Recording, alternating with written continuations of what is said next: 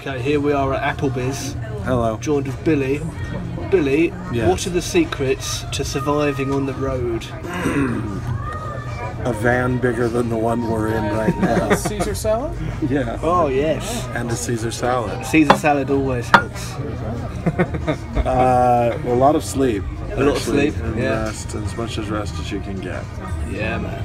And um, the occasional margarita, which is on its way right now. Wise words, sir. Wise words.